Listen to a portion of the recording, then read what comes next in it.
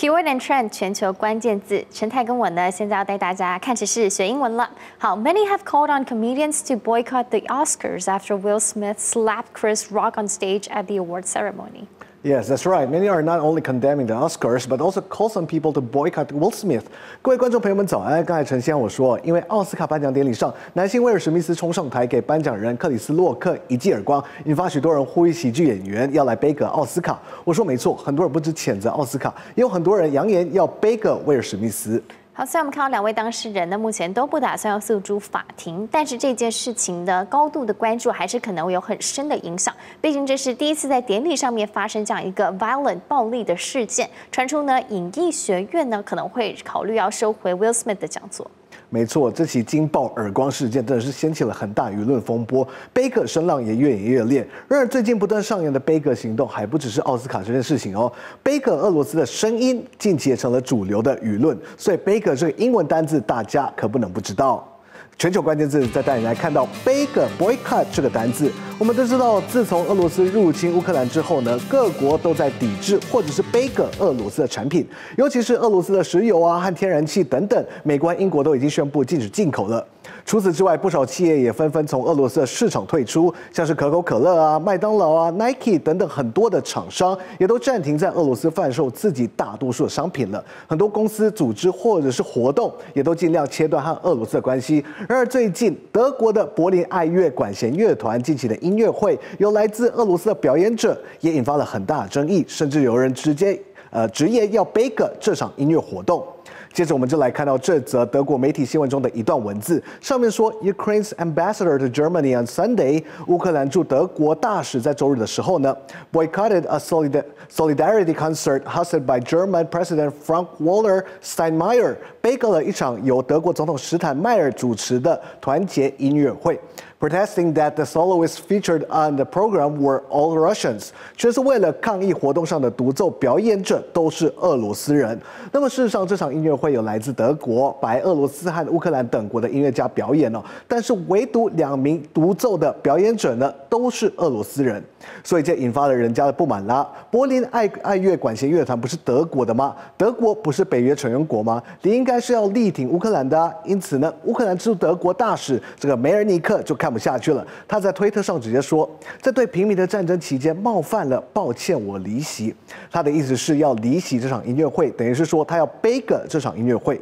不过随着背个的声浪越来越大，当然也有人觉得反俄罗斯不应该针对单纯的音乐人。那么根据英国卫报指出呢，俄罗斯传奇、俄罗斯艺传奇芭蕾舞天王芭蕾什尼科夫就说，不要因为战争和国家的政治决定而去惩罚俄罗斯的艺术家和运动员。他说，因为这些人。毕竟也是有家庭的，政治应该归政治，所以现在呢，不管是在体坛啊、艺术界、音乐界，虽然贝克俄罗斯的声浪持续燃烧，但不少人也开始发出另外一种声音。然而呢，抵制贝克俄罗斯的事情，接下来可能也只会越来越多，相关的新闻也会层出不穷。所以全球关键字带来来认识一下贝克的英文单字：boycott，贝克。各位观众有没有发现，boycott 前半段有一个 boy，但 boycott 跟 boy 男孩这个字是无关的。顺带一提，中文的 baker 也是跟杯子完全没有关系。我们可以看到 boycott 这个字呢，它既是名词，也会拿来当做动词。我们要 boycott 什么东西，所以经常被拿来当做动词用。不过呢，boycott 在英文里面呢，原本不是一个动词哦，而是一个人名。它来自个人名，他是 Charles Boycott，是一个十九世纪的英国退役上尉。他在一一八八零年的时候呢，在爱尔兰担任一名这个土地经纪人。当时爱尔兰连年饥荒，可是他却拒绝在这个时候给佃农减租减息，而且他手段非常残暴，还常常把很多人赶出自己的家园。结果呢，引起了本地人的怒火。于是周围爱尔兰人就开始很有组织的回避、冷落这个 Charles Boycott。很多为他打工的人就开始拒绝帮他收割农作物，各种商家也都纷纷拒绝和他做买卖，就连邮差也。拒绝给他送信，等于是遭到全民上下的联合抵制。在这样的社会氛围下，后来这个姓氏呢，也就是 boycott，随着时间的推移，就成了联合起来拒绝参加、拒绝贸易往来的意思。最后，国际政治经济里的这个禁运也都是用这个字 boycott。至于中文里的悲歌呢，则是来自 boycott 的音译 boycott，Baker 是不是很像？是不是很有趣呢？Boycott 从人名变成了一种常用的单字。如果是过去式或是过去分词，就在后面加个 ed 就好了。如果是当做现在分词，加个 ing 就可以了。那么最后我们再来看到一则路透社的新闻例句。乌克兰外交部长 Ukraine Foreign Min Ukraine's Foreign Minister 针对欧尚和其他所有的产品提出 Baker，called for a boycott of Auchan and all of its products。刚刚讲到的 Auchan 欧尚是一个法国的连锁饭呃连锁量饭店了，因为他没有要退出俄罗斯的市场，所以乌克兰外长也大喊要 Baker 它。上面写说 called for a boycott。A boycott 一个 baker，所以这里的 boycott 就是名词了。希望观众朋友们对 BAGA 的英文 boycott 有了进一步的了解。往后看到 BAGA 的相关新闻，希望大家马上就能想到英文 boycott。特别是近期国际的 baker 舆论越来越多，像是台湾时间二十八号奥斯卡颁奖典礼上，好莱坞喜剧演员这个克里斯洛克在台上调侃男性威尔史密斯的老婆，引发威尔史密斯当场暴走了，冲上台赏了这个克里斯洛克一记耳光。回到座位后还爆粗口。不止吓坏现场的人，也可以说震惊了全球。那么事后的舆论也很两极，很多人力挺威尔史密斯是爱妻爱护呃这个护妻的动作，但也有很多人看不下去，说要背个奥斯卡和威尔史密斯到底发生了什么事情？再带你回过头来看。哦，哇，哇哦！美国男星威尔史密斯走上颁奖台，一巴掌挥向担任颁奖人的喜剧演员克里斯洛克。原本现场都以为是安排好的桥段，直到这一刻。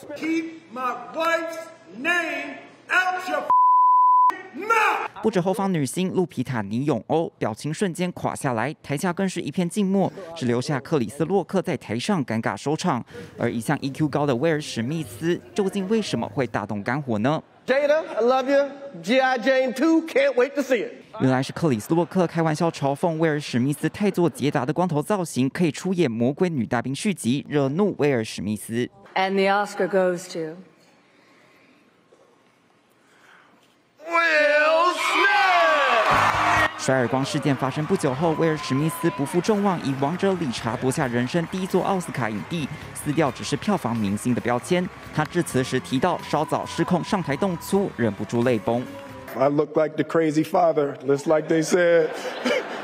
I look like crazy father, just like they said about Richard Williams. Um, but love will make you do crazy things.